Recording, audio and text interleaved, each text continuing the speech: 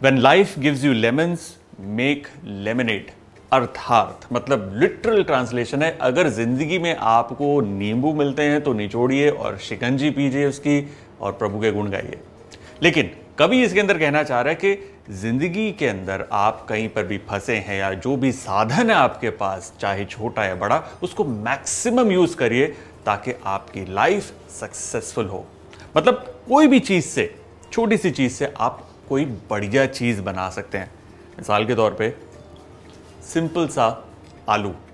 अब इस आलू से आज हम बनाएँगे भरवा दम आलू which is going to be a super recipe very tasty simple है, क्योंकि मैं हूँ आपको बताने के लिए स्टेप बाय स्टेप थोड़ा सा लेंदी है, लेकिन इसका जो रिवॉर्ड है इज़ ऑसम शुरू करते हैं भरवा दम आलू।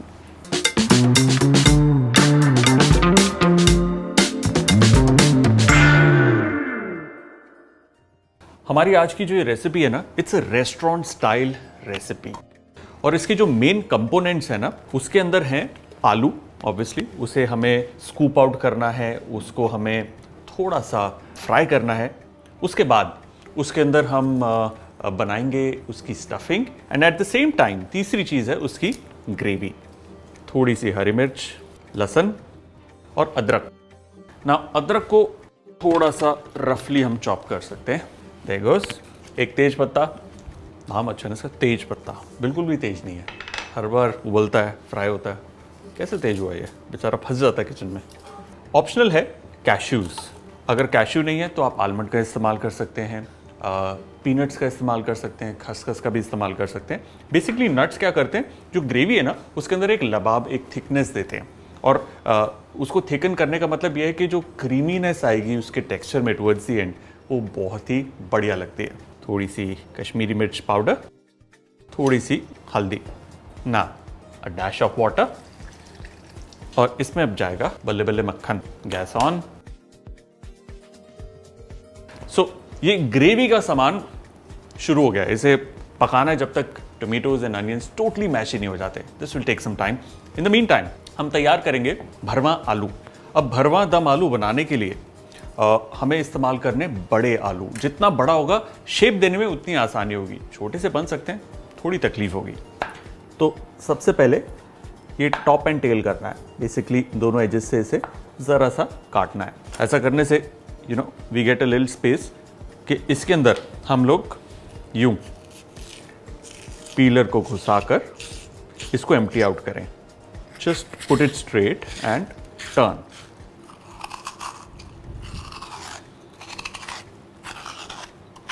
से बात आ रही है जब एप्पल खाते हैं। और देखिए, पीलर आर पार नहीं होना चाहिए।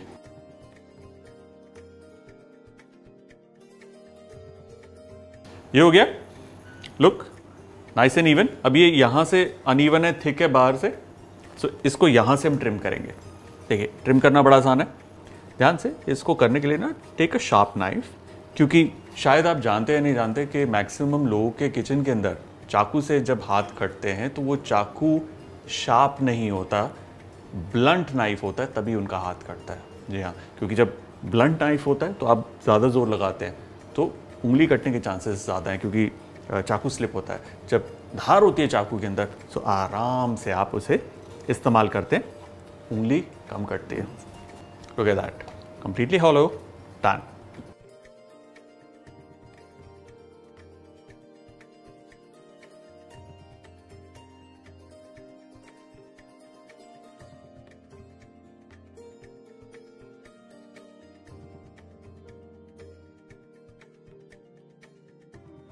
अब आप बोल रहे होंगे भाई कि इतनी वेस्टेज कर रहे हो आप, ये क्या कर रहे हो? मतलब what is this don't worry ये कुछ वेस्टेज नहीं होगी। ये सारी की सारी ट्रिमिंग जाएगी पानी के अंदर। और इसे हम इस्तेमाल करेंगे आलू की स्टफिंग करने में।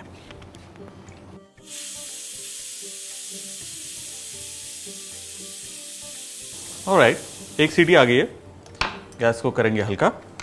और पाँच मिनट और इसे पकाना है। दैट्स इट टोमेटो मैश हो जाएगा, तब तक हमारा आलू भी तैयार। ब्रिलियंट ये आखिरी आलू? तैयार। लुक एट दिस ब्यूटिफुल टमाटर गल गया है, प्याज गल गया है कैशू नट वो भी सॉफ्ट हो गया। अब इसे हमें टोटली ठंडा करना है और उसके बाद इसे हम पीसेंगे। इसे ठंडा करने में थोड़ा समय लगेगा। जब तक ये ठंडा होता है, चलिए आलू को फ्राई कर लेते हैं, उसकी स्टफिंग बना लेते हैं।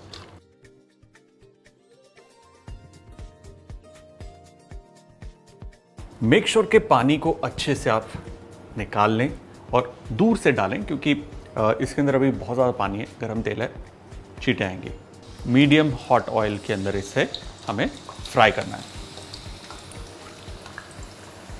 ठीक है कैसे आराम से धीरे धीरे शुरू हो गया, क्या आग बबूला हो गया ये।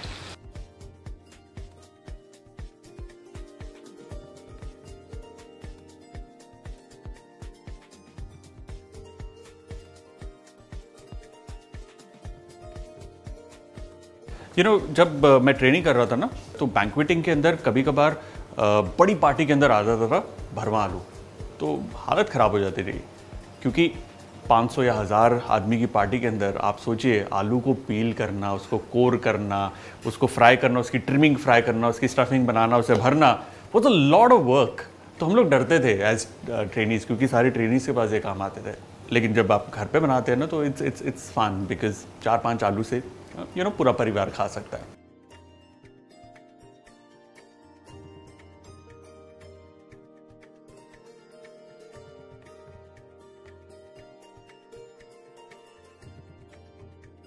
इसे कंप्लीटली ठंडा करना है। इसे समय लगेगा। इन द मीन टाइम हम ग्रेवी को पीस लेते हैं।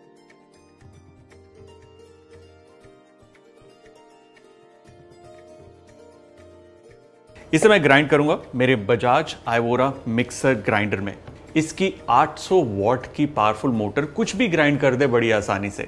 बजाज आइवोरा मिक्सर ग्राइंडर की बॉडी आती है antibacterial and easy clean coating के साथ। करी हमारी तैयार। नाउ इसे थोड़ा सा भूनना है। और भूनेंगे हम बटर में। थोड़ी सी हरी मिर्च। अगेन ऑप्शनल साथ ही इसके अंदर मैं डाल रहा हूँ बारीक कटी हुई अदरक।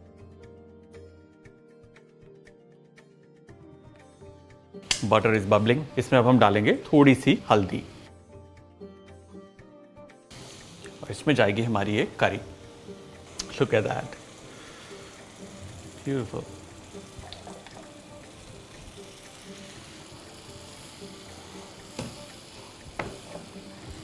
करी को अब भूनना है। 10 से 15 मिनट तक इसे पकाना है और करी तैयार। आज की मेरी जितनी कुकिंग है ना, मैं कर रहा हूँ, मेरे इस brand new Bajaj glass top gas stove पर, जिसका sturdy square shape pan support आता है एस फ्रेम के साथ, जो दिखता है बहुत ही ज़्यादा एलिगेंट अभी चलते हैं आलू की स्टफिंग की तरफ़. सिंपल ये जो आलू की स्टफिंग थी ना, सबसे पहले इस स्टफिंग को हम लेंगे एक प्लेटर में या परात में. लेट्स जस्ट मैश इट थोड़ा क्रिस्पी फ्लेवर भुने हुए आलू का फ्राइड आलू का रहता है so the idea is not to waste anything mash it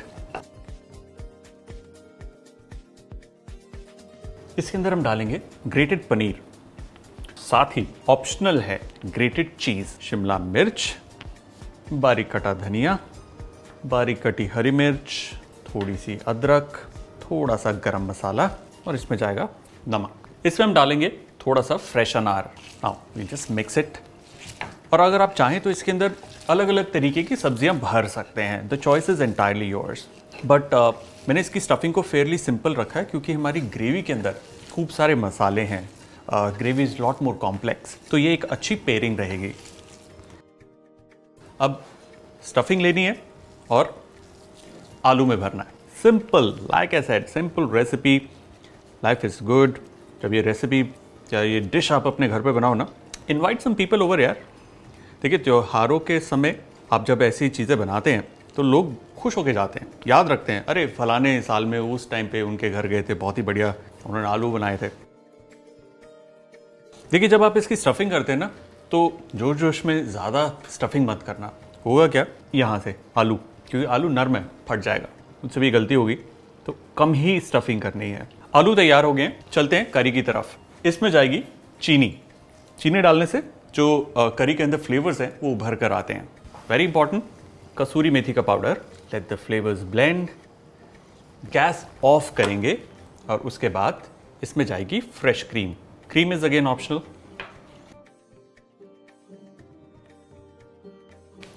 और हमारी भरवा दम आलू की करी तैयार है. ब्यूटिफुल चलिए प्लेट करते हैं.